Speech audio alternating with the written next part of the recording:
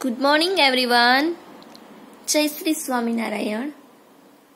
ગુજરાતી વિષયમાં આપણે કવિતા બાર પિતાજી એ સમજ્યા હતા. જે કવિતા છે, એમાં પિતાજી વિશેની વાત કરવામાં આવી છે, આપણા પપ્પા વિશેની વાત કરવામાં આવી છે. શું વાત કરવામાં આવી છે? આપણા પપ્પા આપણને ખૂબ જ વહાલ કરે છે અને આપણે ક્યારે પણ લાગ્યું હોય તો વધુ ચિંતા એને જ થાય છે. તે પોતે ઓછું ખાશે પણ એમના છોકરાઓને સારું સારું લઈને ખવડાવે છે અને આપણા આપણા આખા પરિવારની એ સાર સંભાળ રાખે છે. તેમણે કોઈ પણ વસ્તુનો ડર લાગતો નથી અને ભાર પણ લાગતો નથી. એ પોતાની રીતે કમાઈ અને ઘર સારું બધી વસ્તુઓ લઈ આવે છે અને છોકરાઓને રાજી કરે છે. અને હંમેશા તેના મનમાં ચિંતા ચાલતી જ હોય છે ઘર માટેની. અને તે પોતે પણ જો ક્યારે અસ્વસ્થ હોય, એને બરાબર ન હોય, તો ક્યારે પણ એ ઘરે જણાવતા નથી. અને આપણનું ખૂબ જ ધ્યાન રાખે છે. તમારા પપ્પા પણ એવા જ હશે જે તમને બધી વસ્તુઓ લઈ આપતા હશે અને તમારી બહુ જ ધ્યાન રાખતા હશે. રાખે છે ને? તમને જે પણ વસ્તુ જોઈએ એ તમને લઈ આપે છે અને તમારી કાળજી રાખે છે. કાળજી એટલે કેર. તમારી કેર કરે છે, સાર સંભાળ લે છે. તમે ક્યાં જાઓ છો, શું કરો છો એ બધું તમને શીખવાડે છે. અને હંમેશા આપણી સાથે જ રહે છે અને તેમની સરખામણીમાં, પપ્પાની સરખામણીમાં કોઈ આવી શકે નહીં, કારણ કે એ આપણી એટલી કાળજી રાખે છે. બીજું કોઈ વ્યક્તિ એવી રાખી શકે નહીં. મમ્મી રાખે છે, પણ એના સિવાય બીજું કોઈ વ્યક્તિ આપણી એટલી કાળજી રાખે નહીં. અને કાંઈ પણ આપણને થયું હોય તો એનો જીવ અદ્ધર થઈ જાય છે. મારા છોકરાને આમ કેમ થયું? એવું બધા મમ્મી પપ્પાને થતું જ હોય છે અને જે પપ્પા છે એને વધુ થાય છે. એ આપણી સામે જણાવતા નથી, પણ એને મનમાં બહુ જ દુઃખ થતું હોય છે. એટલે બધેના પપ્પા સારા જ હોય છે, પણ એ જણાવતા હોતા નથી. આપણી સામે એ કહેતા હોતા નથી. એને જે પણ પ્રોબ્લેમ હોય છે, એ આપણે જણાવતા નથી અને આપણી હંમેશા સાર સંભાળ રાખે છે. તો હવે એની સ્વાધ્યાય જોઈ લઈએ. નીચેના પ્રશ્નોના જવાબ એક વાક્યમાં લખો, પિતા શું કરે છે? તો પિતા કાળજી રાખે છે. પિતા કોને આધાર આપે છે? તો પિતા બધાને આધાર આપે છે. પિતા ઘરે ન હોય તો આપણે શું કરીએ છીએ? તમે પણ કરતા જશો જ્યારે પપ્પા ઘરેથી કામ ઉપર જાય, ત્યારે શું કરે છે? પિતા ઘરે ન હોય ત્યારે આપણે બૂમાબૂમ કરીને ઘર ગજવી દઈએ છીએ. મતલબ કે તોફાન અને મસ્તી આપણા ચાલુ થઈ જાય છે. તમે પણ બધા એવા જ હશો. છો ને?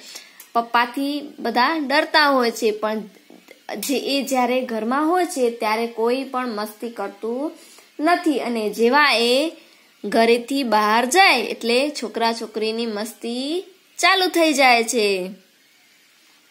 નીચેના પ્રશ્નોના બેથી ત્રણ વાક્યોમાં જવાબ લખો. પિતા શેની કાળજી લે છે? પિતા આપણા કુટુંબની કાળજી લે છે. કાળજી એટલે કેર. એ આપણા આખા કુટુંબની કાળજી લે છે. મતલબ કે આપણને ધ્યાન રાખે છે.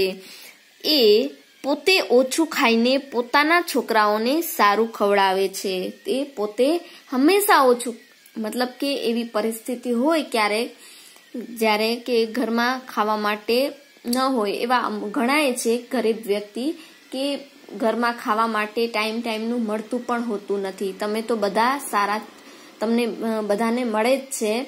પરંતુ અમુક એવી ઘણા હોય છે એવા જે ગરીબ પરિસ્થિતિના હોય છે, એના લીધે એને ત્રણ ટાઈમનું ખાવાનું પણ ક્યારેક જ મળે છે. તો એવા જે પિતા છે, જે પોતે મજૂરી કરી અને બાળકને ખવડાવે છે, પોતું, પોતે ક્યારેક ઓછું ખાય છે. પણ સૌથી પહેલા બાળકને ખવડાવે છે. એના પછી બધી રમત કઈ રીતે શરૂ થાય છે? જ્યારે પિતા ઘરમાં ન હોય ત્યારે બાળકો ઘરમાં રમવાનું શરૂ કરી દે છે. એના પછી છે, કવિતાની પંક્તિ પૂર્ણ કરો. તો અહીંયા માયાથી એટલું લખેલું છે, તો માયાથી શરીર પર, ખંભા પર લેવાવાળા. આપણે ખંભા ઉપર તેરીને કોણ ફરાવે? આપણા પપ્પા ફરાવે. જ્યારે આપણે નાનકડા હોઈએ ત્યારે એ આપણને ફરાવે છે. લાગ્યું હોય તો જીવ ઊંચો કરનાર આપણને કાંઈ પણ થાય તો એનો જીવ ઊંચો થઈ જાય છે. એને સતત ચિંતા રહે છે, ટેન્શન થાય છે. મનથી મજબૂત હોવા છતાં વાત્સલ્ય આપનાર એ બહુ જ મનથી એકદમ મક્કમ હોય છે, મજબૂત હોય છે સ્ટ્રોંગ હોય છે. છતાં પણ આપણને હંમેશા વાત્સલ્ય, મતલબ કે પ્રેમ જ આપે છે. એના પછી સમાનાર્થી શબ્દો લખો. દુઃખ તો દર્દ.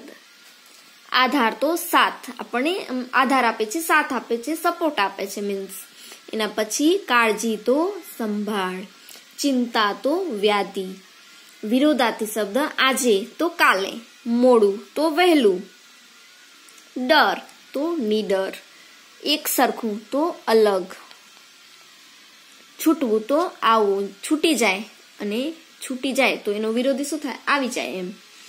કમી તો હાજરી. કમી એટલે મતલબ કે ખોટ, આની ખોટ આપણે વર્તાય છે. એવું કઈ તમે સાંભળ્યું હશે. તો એનો વિરોધી શું થાય? હાજરી. એના પછી છે, નીચે આપેલા શબ્દ પરથી વાક્ય તૈયાર કરો. તો માયાથી તો માયાથી શરીર પર આપણું એ જે કાવ્ય પંક્તિનું પહેલી લાઈન છે, એ છે માયાથી શરીર પર. મન, તો મન હંમેશા મજબૂત રાખવું જોઈએ. પિતા, તો પિતા આપણને વહાલ કરે છે. ખબર હોવી તો શાળામાં શું ચાલી રહ્યું છે એની ખબર હોવી જોઈએ.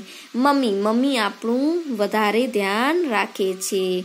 એના પછી પ્રવૃત્તિ એક્ટિવિટીમાં છે. મારા પિતા આ વિષય પર પાંચથી છ લીટીમાં લખવાનું છે. જે તમને હોમવર્કમાં ટેક્સ્ટ બુકની અંદર જ લખવાનું છે.